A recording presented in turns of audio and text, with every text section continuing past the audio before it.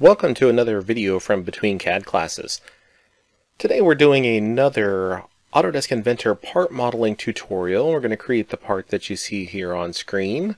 Let's jump right in with selecting the correct template. This particular part is going to be a metric part, so I'm going to go to New and then double click on my standard millimeter.ipt. Before I jump into the modeling, let's take a look at the workflow that we're going to go through. For this particular part, I'm going to start by creating a rectangular base. Then I am going to add the back feature with the curved top. Next, I'll add the hole into that back feature. Then back to the horizontal base, I'll add in a hole. Then I will create a copy of that hole by mirroring it over. Then I will add in some chamfered corners on that bottom base. And then finally, I will create the raised extrusion. Since we're starting with the base, let's take a look at the detail drawing so we can figure out what the dimensions of that base are going to be. As we can see with the dimensions in the front view and the top view, this particular base is 200 millimeters wide by 128 millimeters deep, and it will be extruded to a thickness of 32 millimeters. So back in Inventor, I'm going to begin by creating a sketch on the horizontal plane, the XZ plane. When I sketch on this plane, it actually rotates my screen so everything is sideways. I'm going to click the arrow on the view cube here to straighten that out. Then I'm just going to arbitrarily draw a rectangle. I always like to draw relative to the origin, but in this particular case, I want the origin to be midway through the part, so that way I can take advantage of this plane that runs through the middle. So I'm going to just draw a rectangle somewhere below the center point there. Then I am going to add a coincident constraint between the midpoint of this top line and the origin point here. That way this will stay centered around that point. Next I'll add in a couple of dimensions. So I'll add in that 200 millimeter width, then the 128 millimeter depth. So I'll go ahead and finish my sketch. Then I will extrude this shape. So we're coming up a thickness of 32 for this one. Next I'm going to add the feature on the back of the part, so I'll rotate it around and sketch on that back surface. I'm going to project geometry to project this top edge so I can reuse it. Then I'm going to use the line command. I'm going to snap to one of the endpoints here.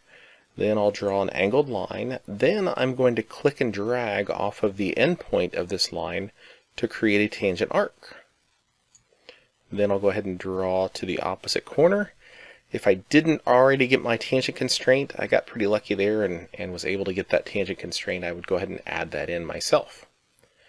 Next I want to line this up so this center basically is above the midpoint here. I could do a vertical constraint, but really if I go ahead and put an equal constraint between the two sides here, that will pull it all into place. So let's take a look at our detail drawing.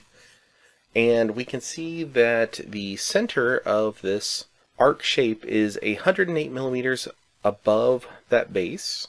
And we can see that it has a radius of 76. Finally, from the side view, we can see that it's going to be extruded a thickness of 26. So back here in Inventor, I'll go ahead and add a dimension from the top of the base to the center of the arc. And I'll put that in at 108. And then I'll add in a dimension for the radius of 76 here.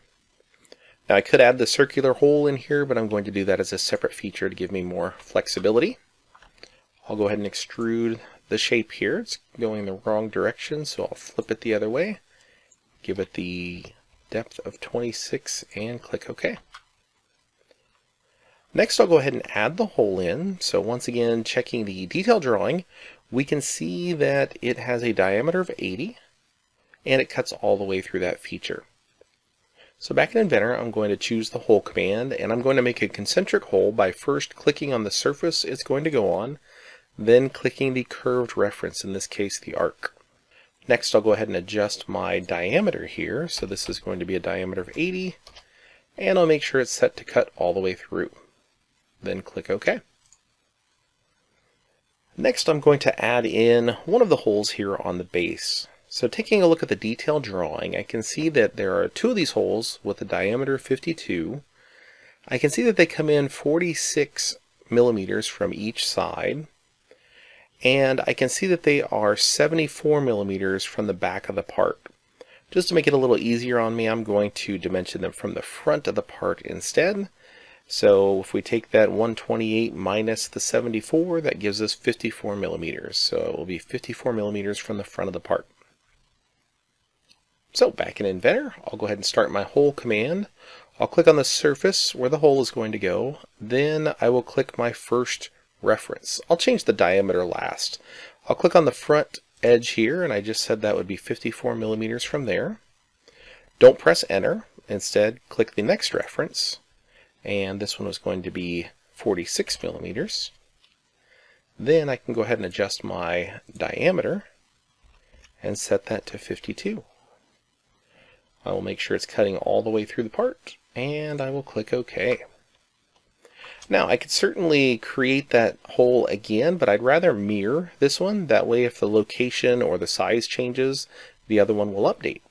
Because I took that first original sketch of the base and centered it around the origin, that will give me an origin plane YZ running right through the middle of the part. So I can use this as my mirror plane. So I will select my mirror command from the pattern panel. I'll select the feature I want to mirror. Then I'll select my mirror plane arrow. Then I'll come in and select that YZ plane. I'll go ahead and click OK. And now we can see that feature has been mirrored. So once again, the big benefit is if I change this hole, this one is going to update. Next, I'm going to go ahead and add in the two chamfers. So let's take a look at the detail drawing again. And we can see that the chamfers are 38 millimeters in from each direction. Back in Inventor, I'll start the chamfer command. I'll pick those two vertical edges and then adjust my value to 38 millimeters. Then I'll click OK. Now I'm ready for my final extrusion. I'll go ahead and sketch on this top shape and I'm going to create a rectangle that is constrained to the front edge of the part and to the edge on the raised base. Now, as I take a look at that, it looks like it didn't quite grab it, so I'm going to go ahead and create a collinear constraint between the edge and the line that I drew there. So not a big deal that I didn't quite catch it the first time. Next, I'll dimension these. So taking a look at our detail drawing, the feature is 36 millimeters wide, and it is 44 millimeters away from the chamfered corner. Finally, in the front view, it is 10 millimeters tall. Back in Inventor then, I'll choose my dimension tool and dimension the width of this feature to be 36.